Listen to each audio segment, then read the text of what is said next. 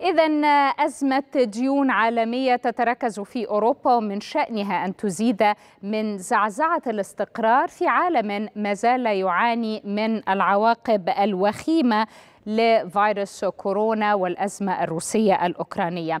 في العرض التالي سنتعرف معكم على حجم الديون في إيطاليا وهل تصبح الديون الإيطالية نقطة ضعف لمنطقة اليورو؟ إذا بلغ حجم الديون في إيطاليا نحو تريليوني وسبعمائة مليار يورو وهذا وفقا لما أعلن عنه البنك المركزي الإيطالي. الأمر الذي زاد من شكوك المستثمرين وربما دفعهم للتخلي عن فكرة الحصول على السندات الإيطالية. الحكومة الإيطالية أعلنت عن ارتفاع ديونها ونصف بالمئة في عام خلال العام الجاري بما يعادل نحو 30 مليار و500 مليون يورو وهذا من أجل وقف تصاعد أسعار الطاقة. فكرة الإجراء الذي أعلنت عنه روما هو تخصيص 9 مليارات و500 مليون يورو من تلك الأموال كمساعدات مباشرة منذ نوفمبر الماضي وأيضا 21 مليار يورو لمساعدة العائلات والشركات على مدار العام الجاري. يجب أن نعرف أن الدين العام في إيطاليا يمثل نحو 150% من الناتج المحلي الإجمالي لتصبح إيطاليا أحد أكثر الدول مديونية في العالم إلى جانب دول أخرى مثل اليونان.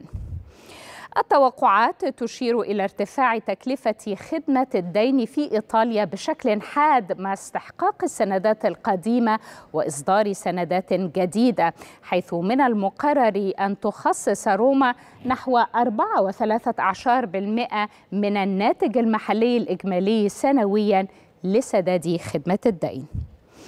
ومن المقرر أن تتضاعف خدمة الدين في إيطاليا إلى ثمانية وعشرين بالمئة بحلول عام 2040 وفقا لسيناريو عدم تغيير السياسة النقدية. لكن الحكومة الإيطالية تواجه تحدي مضاعفة الفائض لتحقيق الاستقرار في نسبة الدين من خلال مضاعفة فائضها الأساسي في الموازنة ثلاث مرات لتصل لنحو ثلاثة بالمئة من الناتج المحلي الإجمالي للبلاد. كان طبعا التغيير في تكاليف الاقتراض في إيطاليا مدفوعا بتوقعات ارتفاع أسعار الفائدة في منطقة اليورو في الوقت الذي يرتفع فيه التضخم ويستمر في هذه الوتيرة. ليس أوروبيا فقط ولكن عالميا.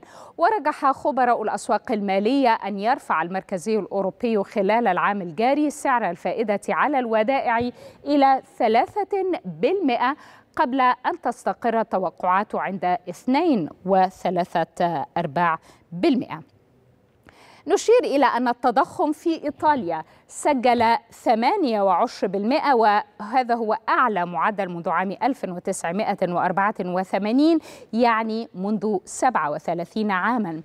ووفقا لوكالة أنسا الإيطالية فإن السبب وراء ذلك الارتفاع هو الزيادة المستمرة في أسعار الطاقة.